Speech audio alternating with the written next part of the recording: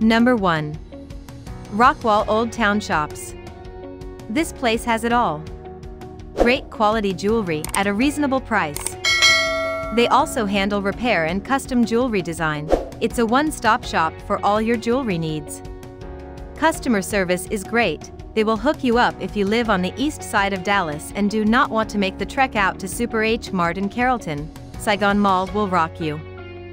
Number 2. The Shops at Park Lane. If you live on the east side of Dallas and do not want to make the trek out to Super H Mart in Carrollton, Saigon Mall will rock you. Saigon is a super fun place for people who love Asian foods or to get the food you usually eat if your upholstery needs a refresh. 20% off the lowest price on all in-stock upholstery. Number 3. the Bazaar Shopping Mall. Join us at the Bazaar Shopping Mall in Garland. Over 60 stores inside the mall, find gifts for everyone and especially yourself. Also don't forget to stop by the restaurants for delicious food and the ever-popular Elote's Precious Elements was established in 2016, in the heart of Chandler, Arizona and now has expanded to Murphy, Texas. Number 4.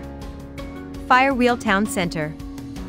Firewheel Town Center is the premier outdoor shopping, dining, and entertainment destination in the Northeast Dallas area offering unique group experiences, extravagant family-oriented signature events, and a distinct Main Street-style shopping adventure. Featuring over 110 stores. Number 5. Bass Pro Shops. I called the store shopping for a rifle. The salesperson said that they did not have them in stock, but if I came to the store that the person in charge of the vault could order it for me. I drove 75 miles one way from Weatherford, Texas. I stood in the 6 feet spaced COVID-19 line for about 20 minuets. When it was my turn, a man walked past the line and approached the counter. Number 6.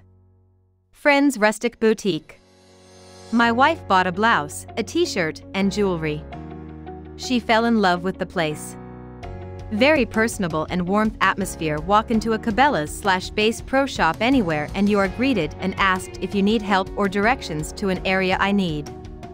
This place is right on the lake split level building. Hope you like this video for more videos please subscribe to our channel.